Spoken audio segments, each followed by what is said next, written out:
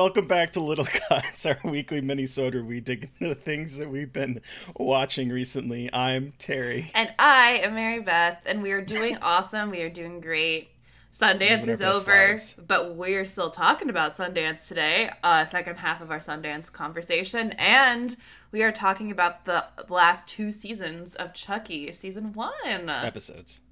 Yeah, that's what I meant. Episodes. That's what I meant. Last two episodes. like two seasons. Oh my god. How many seasons are there? last two episodes of Chucky season There one. we go.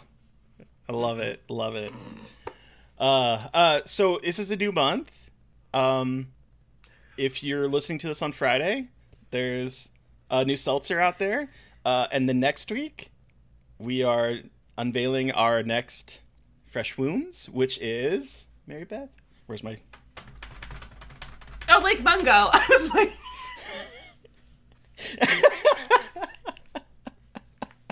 it's like the, or- Doing great it's like the orphanage. Guys. Nope. nope. No, we are talking about Lake here. Mungo, and as m- many of you who are listening to this podcast know, that that is one of my all-time favorites. And Terry didn't like it his first watch, which we've given him shit about before. Um, and revisited it for Fresh Wounds, and we have a really awesome discussion about one of my all-time favorite horror movies. Um, and it's a really good talk. I, I just no spoilers, but foreshadowing. It's a really good conversation, and I don't yell at Terry about not liking it. So it's okay. It's an okay movie. I mean, I suppose. Look, I accept all opinions except for that one. Just kidding. No, I uh I def uh, no no spoilers. Yep. Yeah, no we'll, spoilers. We'll no save that spoilers. for next week. Yeah. But yeah, new but month, new new Patreon stuff. Get into it. If you aren't a patron, why not? Um, no, I understand. But we'd love your support and listening to our we'd extra content. Um mm-hmm. sign up. It's awesome for just a dollar a month. It helps keep exp- the lies on. Lies on? Li- Lights on. Jesus.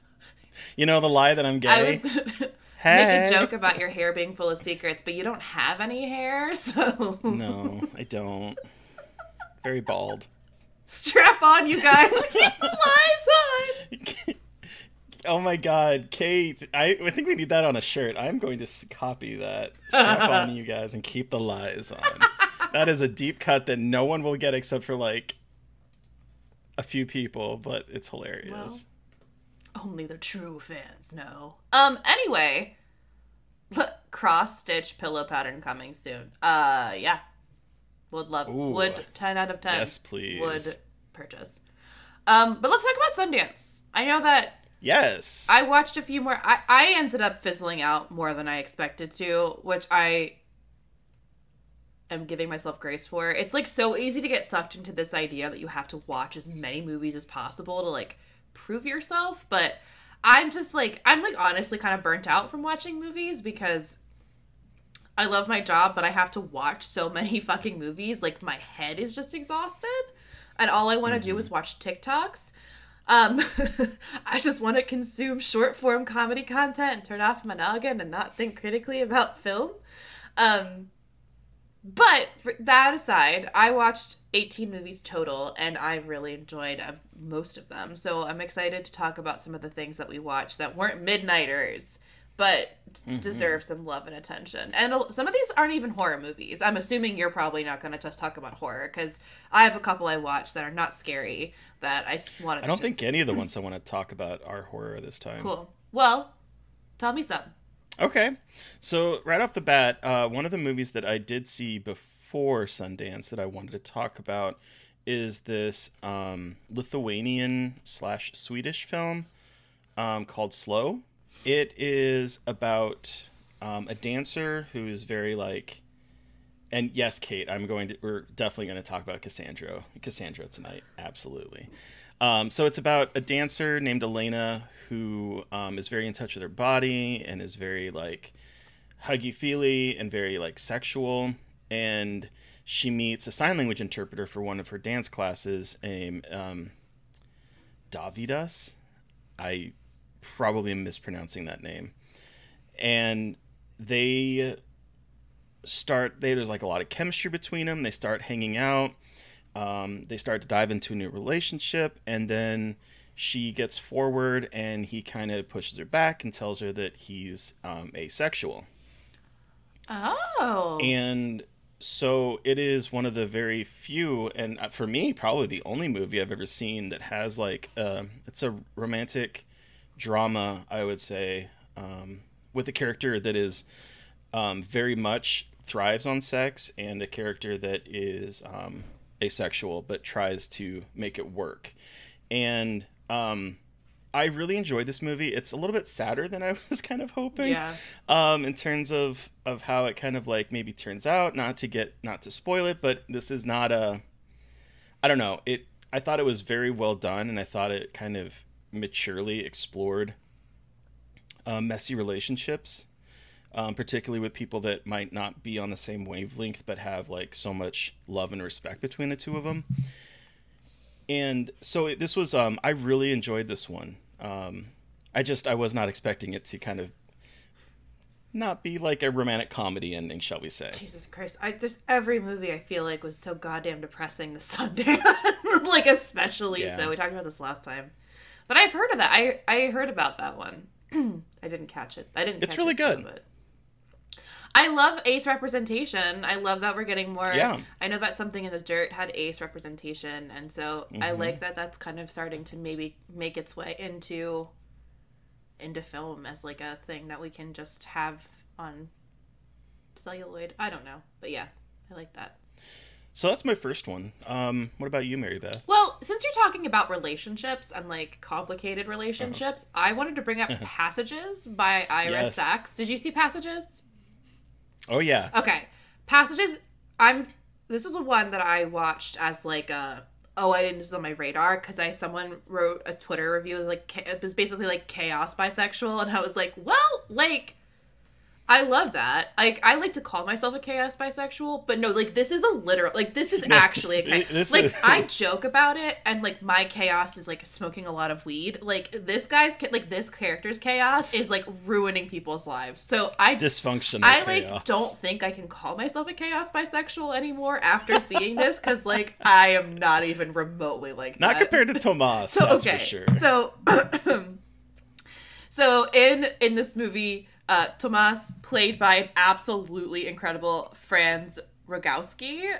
Rogowski. Oh, he's so good. He's incredible. He's been in things like Undine, Transit. Um, he is a German actor, so he's been in a lot of German stuff. But he plays Tomas, who is a German filmmaker. He lives in Paris with his husband Martin, who is played by the fucking adorable Ben Whishaw. Cutie patootie. Oh, he was fresh and fruity. Who? Franz? Franz. Oh, really? Oh, I didn't know that. yeah. Did you see that movie? Lucifer with a Z. No, I didn't. like, It was at some festival. oh. Anyway, sorry. I just realized this. I just put two and two together. But but yeah, so then he lives with his husband, Martin, cutie tootie, fresh and fruity, Ben Whishaw, who is the voice of Paddington. Um, incredible. Oh, is he? Yeah, he is the voice of Paddington Bear. Never seen Paddington. Oh, if you want to feel good about yourself and just watch wholesome bullshit, Paddington is the way to go. It's Paddington 2 especially. That's what I've heard. Um anyway, so they are married. From the get-go you can tell it's to- it's pretty toxic. It's and because it kind of like jumps right into the fact that Tomas has a affair with Agatha Agatha I think is how it's like Agatha with an E and it's French. It's probably Ag- Agatha. I couldn't really understand what they were saying in the movie because I am a shitty. Sound like you're saying Agat, Agat. Okay, Agat, but played by the incredible Adele Exarchopoulos. I'm so sorry. I am the worst, but she was in um, "Blue is the Warmest Color" is kind of what she's known for. oh, Um, she is she's um opposite of Léa Seydoux in that um in that film. But basically, it's like a triangle of chaos because Tomas gets with her and is like, "Oh, you should be happy with me. I'm with a woman," and his husband is like, "Why? Like, what the fuck? Like, this is this is weird."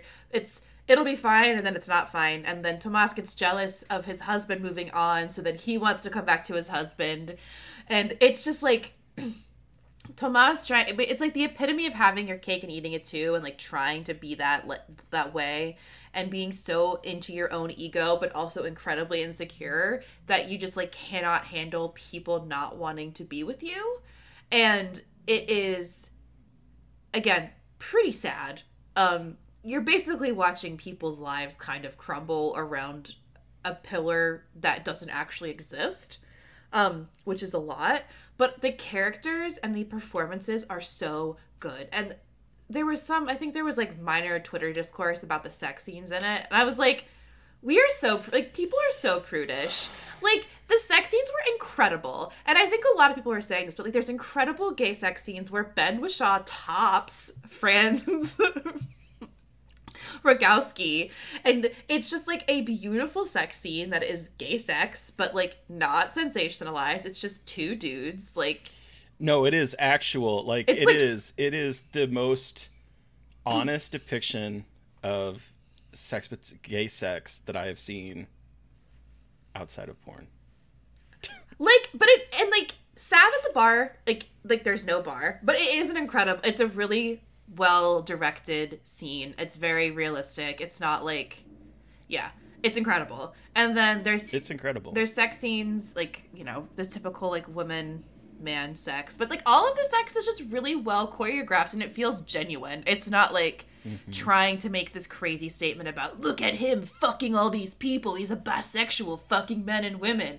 It's like actual sex and it's not yeah and i just really appreciated the honesty of this movie. Yeah this yeah. movie is is is phenomenal. I loved from the very beginning there's uh because because franz's character tomas is a film director. And the opening shot is he's filming a scene for his movie passages and he, the way he like is trying to control every single facet of every single extra in this scene where he's like one person's not walking down the stairs correctly one person is not holding the glass correctly. Like from the get-go you can see that he has like control issues and that he wants everything to play out as if he is manipulating it. And so the moment that um, martin his husband is like yeah no i don't think this is what i want it is like a almost a coming of age story for him. It like just breaks his mind, and he goes on this like wild journey of figuring out what he wants. But it's complicated by different sexes and different l- ideas of love and pregnancy and like all of these things that it just sort of starts to tumble downhill. And it's like I don't know. I found it very enthralling the entire time I was watching yeah. it. It also made me so mad um, because a lot of the behavior that Thomas exhibits is behavior I have experienced as someone who was in a very toxic relationship. And so it was like I was so angry, I wanted to turn it off, but like in a and it's a positive thing because it's like very much accurate to the experience of like being in that kind of toxic dynamic and being and how hard it is to extricate yourself from that dynamic. Um so it, it's incredibly well done in that regard. So it pissed me off so much. But like again, in a positive way, like in a way that like, wow, fuck, they really nailed it. I never want to watch this again because he's the most manipulative, gross, gaslighty person. in my opinion. oh, absolutely. No, he is. He's a horrible person. Yeah. But I felt that the the movie had a little bit of empathy toward him. Like not in a not in like a forgiving him sort of way, but there's like I think I think what this why this movie stuck with me more than it might have is because of the fact that it felt authentic in its depiction of him, both as like yeah, both as like a horrible person, but also as someone that like has that magnetic personality and that he obviously he obviously loves both people very much. It's just there's there's so there's a little bit more. I, I think it's a little bit more nuanced than just uh you know he's a bad guy and i think yeah. that's why i appreciated this movie yeah even though he is incredibly frustrating and i sighed so many heavy sighs during this movie because he is he's a lot he's a lot yeah and i was like how can you leave cutie patootie ben Whishaw like come on beautiful friend like Parisian apartment, a fucking country home. I mean, it's the gay ideal. Are you kidding me? No. He's a little he's a little artist in his cute little artist butt pant, like his little butt and his little cute pants. Oh, whatever. Anyway. Yes, but I lo- I really like that one. Um I think there was a lot of really good queer stuff this year. I feel like. There was. Um, and speaking of queer stuff, I want to talk about Cassandro. Oh, I'm Kate so mad I didn't watch it. Oh, Mary Beth, I know. so I just good. I burned out. I burned out. No, I get it. Like uh, you said, you watched what eighteen? Yeah. I watched. Um, I watched twenty one. One was a short film, but I watched twenty one, and that was only because the last night I was like, I gotta watch these two, and then Joe was like, Hey, you gotta watch this romantic comedy if you still can. Oh, I know. I missed that one too. I'm so pissed I missed that one. That was really cute too. But anyway, Cassandro, uh, telling the true story of Cassandro, who is an Exotico uh, lucha libre character created by Saul Armendariz, I believe. Um, and he is a gay amateur wrestler from El Paso who rose to international stardom. It's set during like his rise of being like this this non exotico so exotico are like a, a subclass of like lucha libre where they are the more fey the more femme the more queer type Oh, character. okay. and they're usually played for jokes. They're usually no one the, the the rule was that exoticos never win. They are there for, to be the sort of like Oh. audience yelling at point. And so he's going on on stage or he's witnessing people before he like transitions to being exotico from being um, sort of like a, a no a no note um, wrestler to being jeered at and having the f word thrown at him and like people the entire crowd just rallying against him. Him like winning and getting better and embracing his queerness and embracing the things that um, the audience hates. And then the audience starts to come around. And so it's basically about his sort of rise and it's a fictionalized account i was looking up the wikipedia entry on him and seeing like w- how things lined up so it's a little bit um, fictitious Okay. in the way it presents but as biopics typically are Yeah. um, but the main character, Saul slash um, Cassandro, is played by Gael Garcia Bernal, Ugh. who I just I absolutely love. And this was a role made for him. He just is electric in it. He is he embraces this character so much. I just I was it was a joy to watch him on on screen. Uh, you get to see him interact with like a closeted um, lucha libre fighter uh, who they have like a relationship for that is he's married and so there's like a little bit of that going on there bad bunny is in it Fuck yeah. All right. Bad Bunny. i just realized is so fucking hot Oh yeah, Bad Bunny. I- Oh yeah. Oh yeah. Bad Bunny is a cutie, to put it very lightly. He is a cutie. he is And by cutie, I mean hottie. lot. He's a hottie. ugh Oh, I'm so glad Bad Loved, Bunny was in that. yeah is Bad Bunny? I was like, is who Bad is Bunny that? queer? Do we know? i don't know but i do think his persona on stage is is more um like poly type feeling but i'm not i know he's supportive Okay, yeah, no, says he's- supportive of the queer Okay, yeah, community. he's not. He is not queer. okay But again, I think it's got like it's got like the Harry Styles vibes, but like a little less Mm. exploitative of like I whatever. A slippery slope of talking about queer rating with Harry Styles. Um but I know that there's been a discussion about Bad Bunny, but it's more like he's like trying to be like you don't have to be like super macho and you can lean Yeah. into these kinds of like ways of existing without it being like yeah. So yeah, I think he yeah. and hey that's what this film's about Yeah, I mean, makes sense that he's in it. Okay. Yeah. Cool. So it was really good. I really enjoyed it. Um, I don't know if it's been picked up. I don't know. It has. I don't know It, it has. I don't know if I can say. It's an Amazon Studio film. I see. yeah, it got picked up. Um. It's an Amazon Studio Yeah. film. It looks like. So we'll. It'll come So. out. I think it's it's coming out later this year. So it'll be out for the world to see on Prime. Uh, on Prime. So that was Cassandro. Uh, what do you have next, Mary Beth? So I, I have two more that I want to Okay. really talk about, and the first one is Fair Play.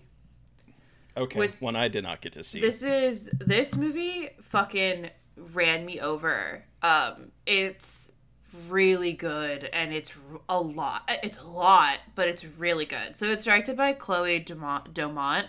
I believe this is her first feature, and it's about a couple who both they both work together at a hedge fund in New York City, but no one knows they're together. And they've been together for a couple years. They live together, and they actually they get engaged, but they have to pretend they don't know each other at work because toxic, whatever. So she is one of the only women, and she is um she basically is promoted to the job that she her fiance thought he was going to get, and she thought he was going to get. Ah. So she gets actually gets promoted. And as soon as she gets that promotion, her fiance completely switches. When he no longer has like the perceived upper hand in the power dynamic of their mm. relationship, he mm. immediately starts treating her like shit. Like gaslighting her, and she's like trying really hard to be nice. Like she knows this is hard for him, but basically it then like leads to this it's just like the absolute downfall of their relationship and it kind of how it spirals out of control and the power dynamics being challenged and male ego being kind of unwilling to check the ego at the door and not give respect to a person who deserved a job regardless of gender. Um, so this is the first time I've seen Alden um, Ehrenreich, I think is his name oh, um Alden Ehrenreich, who is uh Han Solo and Solo. First time I've actually like seen full proof that he knows how to act. I think he plays a lot of like goofy characters, but this character is I think it works really well that like you assume he's gonna be goofy and he's actually the fucking like worst. playing against type. Yeah. So, and then Phoebe um, Dynevor plays um, plays the lead, and I she hasn't been in a lot before. She's pretty new, Okay. but she's electric. She's so good, and this like whole movie is about toxicity, and you know, toxic male relationships in the workplace, especially in like these high powered workplaces that are very male dominated, that are all about like partying all night and doing coke and like getting wasted and then like making tons of money. And it's kind of got that like, you know, there's some tip, there's some like kind of stereotypical vibes here of like woman in the man's world and what she has to sacrifice. Mm-hmm. But I think it's like really well done in terms of examining that relationship. So, um it's not an easy watch. There is a sexual assault scene. Um it's it's really well done. It's just like it's very it's like it's not a horror movie, but the tension feels like a horror movie. Um so yeah.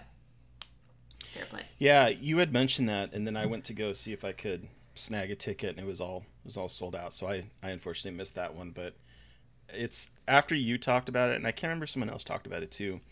I was like, okay, it's on my list of things I need to watch eventually Yeah. when it comes out. Yeah. I'm not it hasn't gotten picked up yet. Um it's almost 2 hours Okay. long, which is a lot. Like it's kind of like it's kind of like a marathon of a movie, but check it out if you're kind of into that. If you ever see anyone call this an erotic thriller, it's not. This is by Okay. far the furthest thing from an erotic thriller, in my opinion. Okay. Just because it is a very high intensity movie about a woman in a man's workplace does not mean it is an erotic thriller. There is nothing erotic about this movie, not even a little bit. I'm just letting Okay. everyone know that now. Because Jesus Makes Christ. sense. But anyway, passing it back to you, anything that you want to highlight? Yes. Okay. Pivoting very hard from that is a movie that, for some reason, I think is my favorite of the fest, which seems weird because it, it does feel like a little bit of a slight film in some regards, but um, Theater camp. Oh my god, I love Theater Camp. I'm so glad you told me to watch it. It's so good. It's so good. So it's co-directed by Molly Gordon and Nick Lieberman. You might remember Molly Gordon from uh, her role in Shiva Baby, her role in Booksmart. Um, she is co-directing this, and she co-wrote it along with um, her co-director and Noah Galvin, who is in this movie as well as an actor. Uh, and Noah Galvin is also from. He was also in Booksmart. He was in Assassination Nation. I think he kind of grew kind of popular from the Real O'Neills. He was uh, Kenny O'Neill in that. But um, so theater camp is about. It's sort of like a Christopher Guest movie, I would say, in that it is sort of like a mockumentary about this documentary crew that is going to go to this theater camp run by um, Amy Sedaris's Joan, and the first time they start filming, they're at Bye Bye Birdie, and the strobe lights cause her to have to fall into a coma, and so they're going into the summer season with their fearless leader in a coma, and her son, played by Jimmy Ch- Tatro, who is also in another very funny mockumentary um, called American Vandal. Um, and he is like there trying to run the business and deal with theater people, for lack of a better word. We have Molly Gordon and Ben Platt playing the the sort of like queer best friends who are also might be slightly in love with each other and codependent on each other. You have Noah Galvin who is playing Glenn, who is like working behind the scenes doing the um, the, the stagecraft, but is actually quite talented, but no one sees it. You have like all of these characters. Um, oh, Ayo, I, I'm gonna pronounce her mispronounce her name. Ayo Adibri, Dib, uh, Edebiri. Edebiri, yeah. Ayo Edebiri. Oh, bitch, she's so fucking funny. Who's so funny in this and she's also she was great in the bear. That's where i first saw her. She was so good in the bear and she's really funny in this. And it's basically just cataloging the summer of um, drama camp where they're trying to keep it together while their uh, rival camp across the lake wants to buy them out and tear down their camp.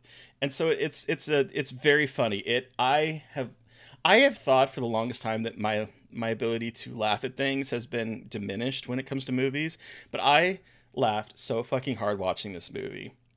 This movie is a breath of fresh air. It's very funny.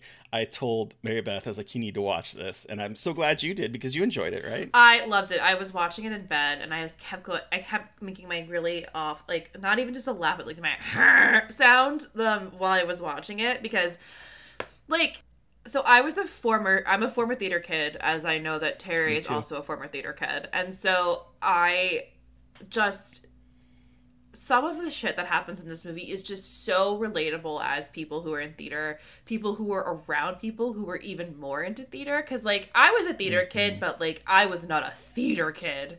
Um and I'm not trying to differentiate myself. It's more like the people that I work like the people that took themselves like so seriously, I was like, oh fuck, like I am not even remotely on your level. and like I love that. I just I was I just couldn't get there. It wasn't me. It wasn't for me, and that's fine. But that's why I, I just love this movie because and again like all of the kids at the theater camp are like we're gonna be a fucking star and I love that like there isn't uh-huh. like there is no like oh the kids who are really into it and kids who are not like these kids are fucking into it and it's just oh, like oh they are the the the things that happen in this movie are like so like it's dark and also really and funny. It feels even because it's not like dark subject matter, but it feels a little bit darker than like a Christopher Guest movie. Even in like the way it's filmed, it just feels a little bit more melancholy in a really interesting mm. way. Like bitters, I heard I read somewhere that someone described it as bittersweet, and I think that's a really good way yeah. to describe it because it's like it's funny, but it's also about people who are in theater who are like are trying to figure out what to do with their lives and they don't want to let go of their passion. And like that's a real thing that a lot of us face and like wanting to like live our passions but then kind of realizing like maybe it's not a thing that is plausible. And Ben Platt and Molly Gordon Ben Platt absolving all of the sins of dear Evan Hansen with this movie. I know. When I was going into this movie, I was watching it with with my roommate and I was like, "Oh, this is gonna give me Evan Hansen vibes, but no, he's really he's good really this. good. Like he's in his element. He's like wearing Birkenstocks the whole time, like mm. little like very like stereotypical like theater scarves, and it's just it could have gone so hokey, and it, it's but it's just hokey enough that it's funny, and it I think they could have used the mockumentary um technique a little bit better, but I also am a freak about pseudo documentary and mockumentary. So like I I know that's like nitpicky, um, but I also know Noah Galvin's character is the best character in this entire movie. Oh, he's so good. The unsung heroes of the techies who are always like getting. I love Tech Week when like he's the only person running around to everything like with his binders. I was like, oh, like applause for the techies. Like we love techies so much. Um, and like his character arc is just so good. Like it Oh. it makes the whole movie to me. Like it's good Uh-huh. without like it just it's ugh Noah Galvin's character. the climax with him is just so perfect. Oh. Uh, Yeah, it was it was the palate cleanser I needed for a lot of other things that I had watched. I think I'd watched Magazine Dreams like the same day, and that is like one of the most depressing movies I've ever seen. And I was like, I need someone to give me a mind wipe. I, and I think that's why I, lo- I really responded to this one so much is that this was a very heavy year at Sundance, I would say, for a lot of the the movies. Um, and this movie just comes along and is like, hey, it's okay to laugh. And after, I think this was like, this was almost going to be my last movie of the fest. But after like watching so many dark movies, so many depressing movies, so many really good movies, like I'm not discounting them, but watching all of those and then sitting down to watch this and just being blown away by the creativity and the humor and the heart uh, just like it made it made my day. And i as silly as it might sound this was probably my favorite movie of the fest. I mean, I get that though, especially when it especially when it's like a little buoy of joy in like a sea of depression. It's just it's easy for it also to stick out in terms of like, oh, this was doing something Yeah. different. And I really liked that. I think this was this is one of the last movies I watched and I was like, well, this is a good kind of foot note, like a good note to end on for me. Um yeah. yeah and it's um i know it's being distributed by searchlight pictures so we're, we'll probably get an actual theatrical release of this movie so those were the ones I really wanted to talk about. You theater, ca- Me too. yeah. So let's just like pivot wildly into talking about Chucky, the last two episodes of Chucky. Oh boy. So I got to I got to hear your thoughts, Mary Beth, because uh, we started the season, and now we're we're ending it on such a dark note. Like, what? Um, I'm trying to like put all my thoughts together. I mean, they really did kill a lot of parents. These Almost all almost of them. all of them. These poor children are just fucked. Um. Oh yeah, they killed Junior, right? Yeah, So Junior. he's dead. Um. Junior's dead. Kyle's dead. Junior's dad's dead. Kyle died. Kyle might be Kyle dead. might be dead. We we didn't get confirmation on her. Um, there's an army of Chucky dolls now, which I once again, what the fuck is going on? Like, what voodoo power is happening? Um, I still don't like fully get it, but that's fine. I mean, I get it. I get what he wants. He wants to take over the world, like have kid, like possess children, etc., etc. But still, like, what the fuck? But again, I'm thinking too hard into this. Um, but I I love all these horror references that are going on in these last two episodes, especially the last episode. And there's some really interesting stuff they're doing with music in this as well that I was really excited about.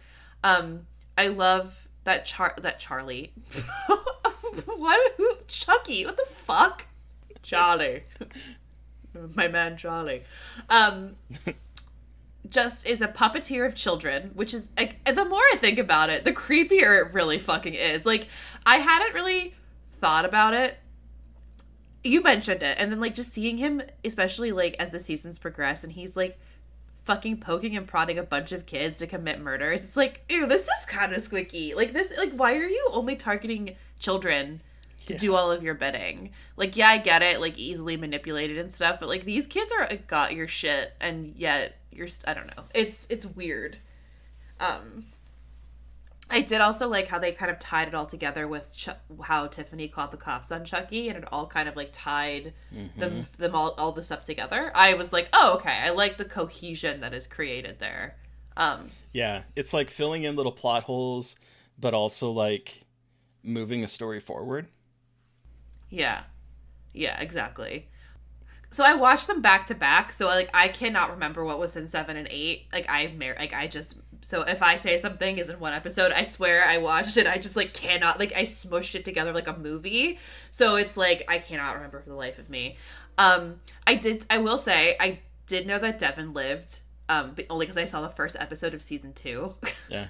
and I was like, That was like a very a very like speed bump. When I when I first watched this, I was like, they no, Don Mancini is not burying his gays. He is not going to do that. And there was like a brief, like the next scene, they're reunited, everything is hunky dory, and I was like, okay, I know. beautiful kiss, calls him a boyfriend. Like I just love. Oh, I just love the gays. I just love all the gay. And oh, the the bound reference of Jennifer Tilly saying you're a bit young to seem bound. I was like, ah, like Yeah. all of the little things just make bring my heart. Like she is so good in this. Like I, she just fucking kills it as Tiffany slash. I don't whatever whoever. I, I don't understand like who is who here. It's like kind of like a hive mind. I'm gonna think of it as like a hive mind at this point, but not really because they're not all connected. I don't think so. I don't quite understand like the identities of like who. And they kind of try to get to that at one point of like. Who is the real Chucky? But then she's like, neither of you are men. I'm like, well, that didn't help me at all. like, I thought you were gonna give me something in terms of like who the real Chucky is and if he's dead. I mean, maybe it doesn't matter, but I I'm just nit- again nitpicking, but I just want to know like who is the real Chucky? Who is the real Tiffany? Because like spoilers at the fucking very end, Tiffany like has a gun and is pointing it at Andy, but Jennifer Tilly, Tiffany the Tiffany doll. the doll, and there's Jennifer Jennifer Tilly. Tilly. Who's possessed Is by cutting Ti- off the arms and legs of Nica. like That's fucking bleak. Nica gets the shit I know. out of her. Poor Nica Like, can't catch a fucking break. Like she is just ugh. called insane and go, sent to a, uh, you know, um, a, a, a sane asylum by the end of the first movie that she's in. Being turned into Chucky in the second movie she's in. Now having her arms and legs lopped off and she's stuck in a wheelchair. Like, Sorry about it. I guess like it just. it's yeah it. Well, I also want to talk about like this like climactic moment where Chucky starts killing all the adult like the adults in the movie theater, where he sits under the seats during the screening of Frank, the original Frankenstein, and he says his favorite part is when Frankenstein throws the little girl in the say, water, which is side note. le- he lets out this huge guffaw of, like this is my favorite part and he then slides under the seats and just starts stabbing people through the seats and like we've seen him do this kind of like he stabbed at the bed towards the beginning and he's tried to do this Mm-hmm. a couple times but now it's like really working and he is on a spree like he is just Mm-hmm. stabbing whoever he can get he can get to like kind of it's there's like indiscriminate just stabbing of people including um our bully's dad Yeah. incredible reveal about him being dead with the mom eating the popcorn and that it's blood on the popcorn. Pouring out of his mouth like butter. Yeah, oh, it's so good. And again, this is all happening while Frankenstein is playing in the background. And also, the score riffs on the Shining score, It does. which was Mhm. so cool. So there's like so many really cool horror references going on here. Chucky gets a Ghoulies moment when he pops out of. Oh, the that's toilet. right. Oh my god, that was incredible. So it's like I think they like there's a lot of horror references in the series, but I really think they like like went into them because I feel like these last two episodes really tie again like the new and the old together really well. Like this is when everything kind of makes sense and like everyone we know that it's been coming together, but now it's like all these all of the characters that we know and love and the new ones all come together in this like crazy two episode finale. Um Kyle is wearing her outfit from Child's Play 2. Why not? I just love this idea that she's like, you know what? I was really rocking that style back in the late 80s, early 90s. Early night. And I'm going to bring back this black leather motorcycle slash somewhat like S&M look as an adult. And I'm just like, I see no problem Bravo. with it. Bravo. She looks great. she does. I just love. I'm wondering if she's dead. I don't really I know. I just I feel like I, I say this about a lot of stuff, but I feel like they show you when people are dead so often in this show that like I can't imagine that they would kill her off like that. Yeah. My only like real complaint is the ADR is not the greatest in these episodes when it comes to uh the Dourif and Tilly voicing Oh, I don't. Yeah, the yeah. It looks like bad lip syncing. Like it looks like it's just like a hair off or like they are over accentuating their mouth and it doesn't it doesn't line up. I wish they had just like had. I don't know. I, I think it that was a that's like the one stylistic choice where I'm like, ooh, I don't know about that. Like that's weird. Um, like you're already letting his daughter play him as like a hot young dude. Like let's just let her have. Like she can kind of get the voice and the laugh. Like fuck it. Also love when Ch- Chucky as Nica and Chucky the doll are talking about how he gets so much pussy when she when he's a woman. Uh-huh. And Dick. And Dick. I was like, good for Chucky. Canonically bisexual? At least one side. at least, yeah. At least one little fragmented being of his is that. I don't fucking know. Yeah, how did. How. Fine, fine, fine. It's not worth it. It's not worth it. There's no explanation. I have to just give into it. there is not. There's not. I'm like, how did that happen? Nope. Nope. What I do love though is the way it ends with Chucky as if he's like reading classic literature to us and he like compares Mancini to Shakespeare, which I was just like, okay, that's funny. it's funny. just so good. And then it goes through all the kills, 21 deaths this season, and to quote Chucky, and a whole bunch of dead parents. I love it. Which, seriously, there is literally one main character parent alive. We have the entire poor Jake's family, his entire family, his extended Oh, family, dead, gone. He's it. Devon, mom, dad, orphaned. Lexi loses her boyfriend, slash loses one half of her parents very vicious. This this series was very vicious. At least this first season.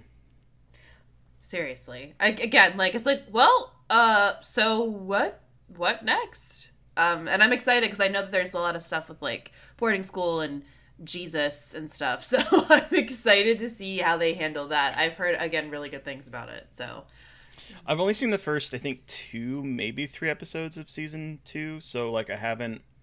We're gonna get into things that I don't, I, I don't know. So I'm excited for that. i'm excited for it too because i also the first episode of the second season and was like I can't imagine because the second episode like kind of picks up in some ways right where this one leaves it off. It does Like, I, it all kind of started making sense i was like oh and i It's didn't watch any other episodes i was like i just i'm lost i need like this is not a show i can do this with but um yeah i it's it's it's so goddamn good i'm excited to jump into season two and i'm they're doing did they Yeah. announce a season three right they have. They've announced season three. So hell yeah. i love it But yeah, so I'm really excited. Next week we're going to start season two. Unfortunately, this one is not streaming free anywhere yet. damn it god damn it it was so easy on peacock um I mean, maybe it is. Like I when I when I look it up, it, it's because I on the iPhone. The nice thing about Apple TV is that it pops up with like where things Oh. are available, and it says it's available on like the Bravo TV app. But I don't know if you need to have like i'll figure it out cable subscription for it. I don't know, but I'll fi- I always find some way to watch these things. Um, but yeah, and so that's that is next week. that's what we're talking about next week. But who who who are we talking to on Monday, Mary? All Beth? right, so like this was the coolest shit of all time. Um, Oh. because I have loved this director since I was a fucking weird ass high school student. We are talking to Ryuhei Kitamura, who is the director of the Midnight Meat Train versus and the newly released The Price We Pay. And he brought with him the classic film Phantasm, which is now one of my favorite movies after watching it for a second time and chatting with him. First time watch for me. Oh, fucking incredible discussion. He's so cool. Um I share with him my obsession of Midnight Meat Train and it's really awesome. It's like a cool kind of full circle moment for young horror fan Mary Beth to now, so I'm really stoked for everyone to hear that. episode. Yeah. What a nice dude. He's so he's so cool, so His chill. stories are cool too. He's got a he lot. of loves really to tell cool- stories. He has a very funny story about the first time he came to America Yeah. and buying a car. It's really funny. Uh, so yeah, he was just really generous with sharing about his his Yeah. experiences. So yeah, well, listeners, you have heard from us. We want to hear from you. Is there a Sundance film that we talked about that you're especially excited for? Um, what did you think about Chucky season one? You can let us know by sending us an email at scarredforlifepodcast at gmail.com or you can reach out to us directly on Twitter. I am at MB McAndrews. and I'm a Gaily Dreadful. And of course, don't forget to follow the podcast on Twitter at Scarred Podcast. And please don't forget to review, rate, subscribe. Join us on Patreon. You could be watching us live do this as Purpurina and Kate are doing right now. Uh, and then, like we said, Fresh Wounds next week. Lake Mungo. Very cool. So join us. Support us. Support us. Yes. Thank you. bitch. Um, thank you to Eric Tyler for artwork. Thank you to Sean Keller for music. Thank you everyone for listening. Please stay safe out there, but most importantly, stay creepy. And until next time. Bitch. Oh, won't somebody please think of the children?